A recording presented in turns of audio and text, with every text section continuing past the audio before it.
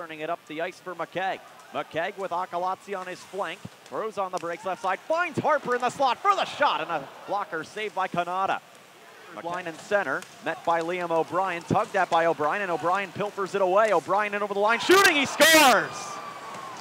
Yeah, it's a great team. They're, they're the uh, Calder Cup finalists for a reason. They're uh, skilled, they play hard, well coached. They go out in the power play, they get back in the game, and then we give up one late and to go 3-2, and then they they've uh, they do a great job shutting us out in the third. Reeses over to keep it right point. Regner overcommits, loses the puck. Djoos shooting, he scores.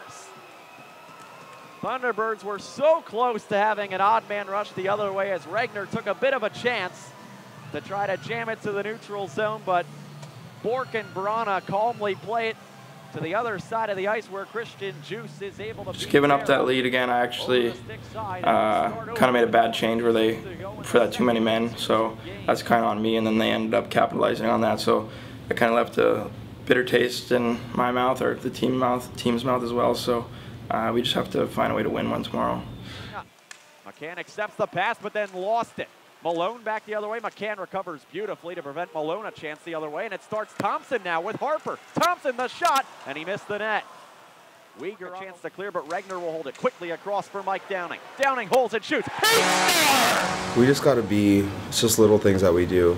Um, taking that too many men, which I mean was half my fault. Um, we just got to cut that kind of stuff out of our games. It seems like we've just kind of put this bad juju on ourselves that when we're up like that, we're kind of scared to take a penalty, and when we do, it's like team scores every time.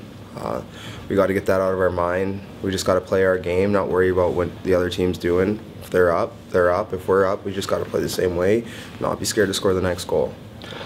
Djoos reaches out to corral it straight away, and then he loses it to Greco. Greco accelerating on in, all by himself, and Kanata got a piece of it. I don't know if it got the outside of the post as well.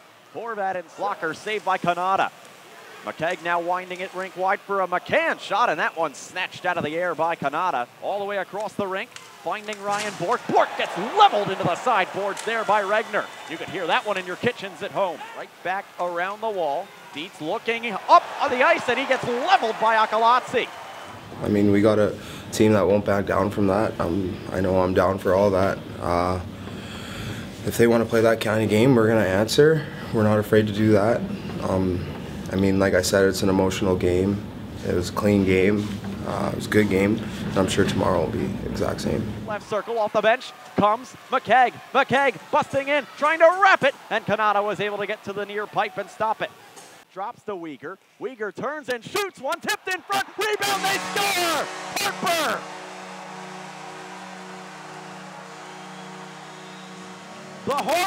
They play they pr play pretty darn hard, but so did we. We we had uh, the guys were going hard in the net, um, and I guess sometimes that happens. Um, uh, you kind I mean, you don't really mind seeing that both teams are playing hard. So tomorrow will definitely be uh, probably a little escalated intensity, I'm sure. Um, uh, but we just kind of try to have to worry about ourselves and uh, really, um, you know, take come back with a win. Um, we've we've had a few close games, and we just need to uh, find that way to win.